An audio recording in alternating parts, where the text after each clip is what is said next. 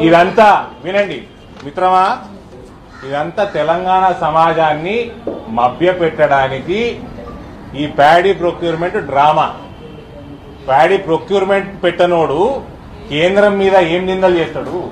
Procurement సెంటరే పెట్టలే. నాకున్న సమాచారం మేరకు వినండి. రైతులను ఏ రకంగా మోసం చేస్తున్నాడు?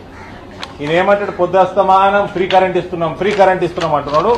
నాకున్న సమాచారం రేపు ఏప్రిల్ ఫస్ట్కి వెళ్ళి గృహ వాడకం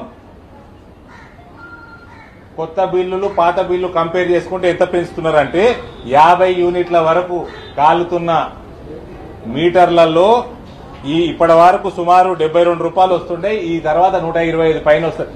డెబ్బై ఆరు శాతం పెంచబోతా ఉన్నాడు. అందరికంటే లీస్ట్ కరెంట్ తక్కువ కరెంటు వాడే వాళ్ళకి డెబ్బై ఆరు శాతం పెంచబోతా ఉన్నాడు. వంద యూనిట్ల నుంచి రెండు వందల రెండు యూనిట్లు వాడే వాళ్ళకి. అరవై శాతం పెంచబోతా ఉన్నాడు. రెండు వందల నుంచి మూడు వందల ముప్పై ఐదు యూనిట్లు వాడే వాళ్ళకి ముప్పై ఏడు నుంచి నలభై శాతం పెంచబోతా ఉన్నాడు.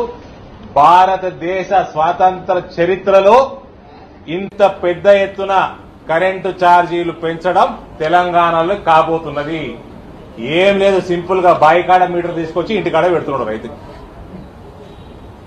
బాయికాడ మీటర్ తెచ్చి రైతుకి ఇంటికాడ పెడుతున్నాడు. ఇది రైతాంగం గమనించాలి దీన్ని. దీని ఎట్టి పరిస్థితుల్లో మనం ఒప్పుకోనియొద్దు ఒప్పుకోవద్దు ఇది ఇంప్లిమెంట్ కానియద్దు మనం అందరం రివోల్ట్ కావాలి. ఫ్రీ కరెంట్ ఇస్తా అంటున్నాడు ఇంటికాడ డబల్ చేసి పడేస్తున్నాడు బిల్లు. దాదాపు నాకు తెలిసినంత వరకు ఆరున్నర నుంచి ఏడు వేల కోట్ల రూపాయల వ్యత్యాసం ఉంటుంది.